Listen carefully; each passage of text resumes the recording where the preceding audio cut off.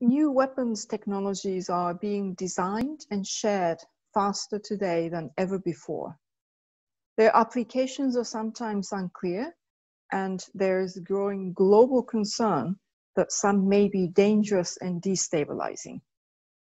Many of these new technologies could worsen global arms competition. Those who wield them could more readily resort to force.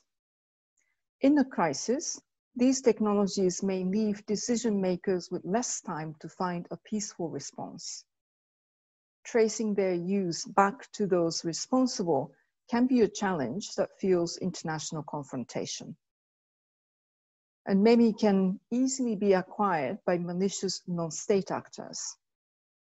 To mount an adequate response to the challenge of emerging technologies, we need to update our approaches to arms control the way forward is to engage a wide range of stakeholders, tackle every emerging issues, and above all, intensify and sustain regular dialogue.